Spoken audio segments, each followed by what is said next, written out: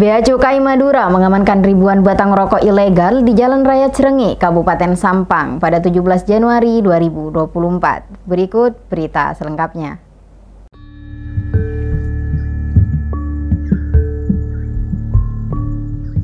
Petugas Bea Cukai Madura mengamankan 5.023 batang rokok ilegal dari 16 merek berbeda yang dibungkus ke dalam 67 kardus. Rokok yang merugikan negara itu dimuat oleh mobil box.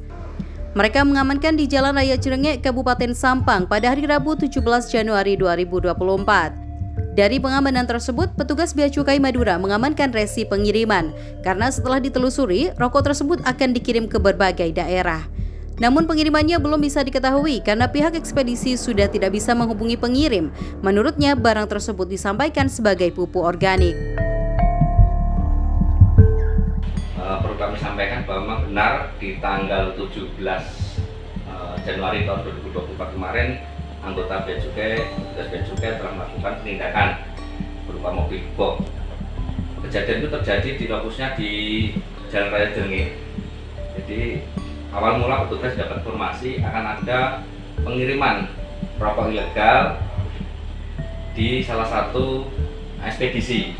Nah ini ini yang yang pelaku ininya maksudnya yang ngirim ini melalui ekspedisi. Dan ekspedisi itu ternyata dicek mobilnya ternyata sudah berangkat mbak.